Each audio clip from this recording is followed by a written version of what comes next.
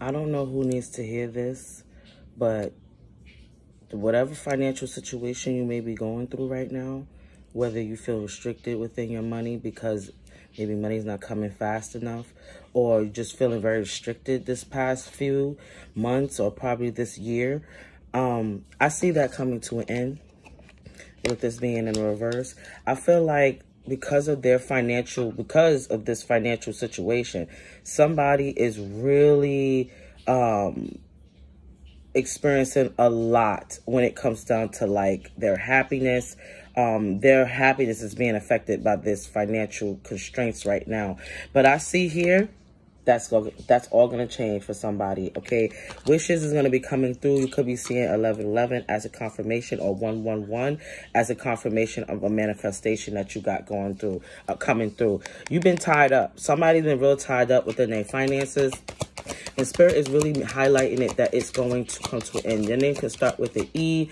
Eric erica elena. I don't know uh other name is coming to me like I feel like somebody also uh like also has a connection with Archangel Metatron. Okay, number four could be very significant, or you could be 40 years old. Okay, somebody could be born on the 13th or January or November could be very significant when this uh change around is gonna happen with this world card energy. Like this is gonna happen. Okay. You could be in your 20s, 29, um, turning into your 30s, or you just, uh, you could be in your 30s as well, but it's just showing here 29 specifically. You born on the 29th, okay?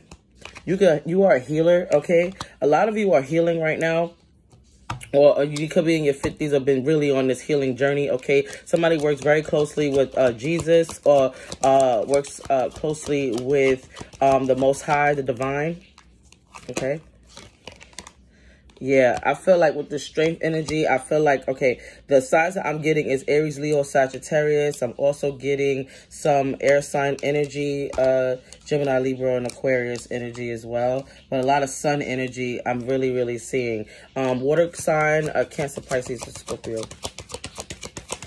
Yeah, what else is coming through?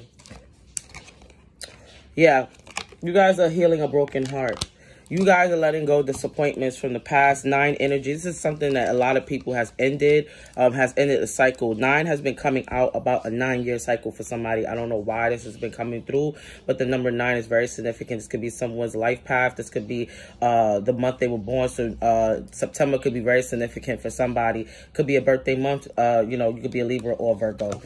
Energy. Okay let's see if we can get some numbers. And then oops and I, oop. okay, what's up?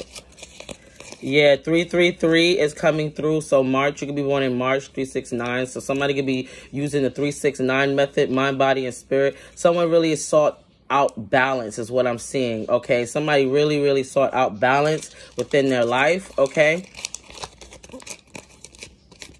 B, the letter B could be very significant. Okay, the letter C as well could be significant.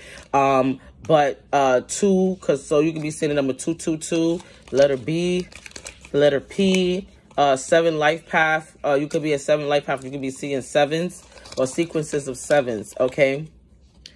Where's your trauma well? People never really know when you're going through alone. So see this has been coming out a lot. Like a lot of people who has been connecting to these readings lately really did go through their trauma, their worst times alone. Like suffered in silence alone. Okay, you're very much a lone wolf, black sheep. Okay.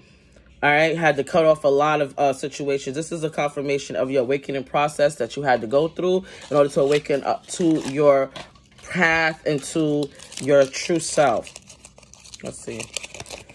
Number 10. You can be seeing 10, 10, okay? So also October could be very significant. So you can be a Libra or you could be a Scorpio energy, okay? So that's what I have for you guys. I hope you have a beautiful, beautiful day. If you'd like to book a personal reading with me, contact me at consciousqueen at gmail.com. I love you guys. Bye.